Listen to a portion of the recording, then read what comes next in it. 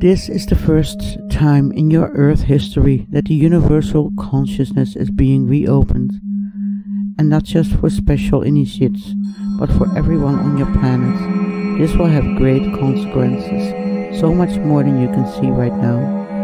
So tell me, brothers and sisters, friends of mine, are you ready to take on this responsibility? Are you ready to change the world as you know it forever? If there's any doubt or fear, let it come now and decide if you want to release it or hold on to it. Many things will change. People will start taking different roles. Some of it will be work that is now done by others. This is your soul's plan. Are you willing to accept these changes in your life? Does that make it even harder to decide, doesn't it? What if after all this is done, your work here is done as well? Can you accept that?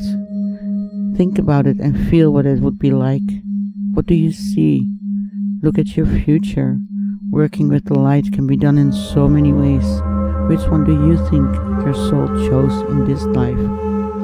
Is it sitting at home, spreading love to every being on this planet? Or maybe it's traveling the world, spreading the light, love, and teaching. Whatever it will be, it is important for the earth and the people upon it.